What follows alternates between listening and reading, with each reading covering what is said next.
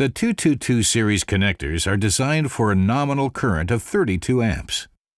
All of these connectors not only exceed the relevant normative requirements, but also provide an additional safety range compared to the normative minimum requirements. This safety range reflects WAGO's high quality requirements while providing maximum safety even in exceptional circumstances.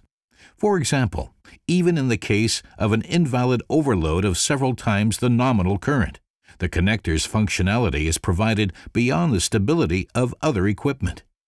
In the event of a failure of more than three times the nominal current, the conductor insulation melts and the wire starts glowing. This is not the case for WAGO's 222 series splicing connector. Both the connector's electrical functionality and housing insulation remain intact. The connector housing will only melt after a prolonged overload and will eventually drop off the contact.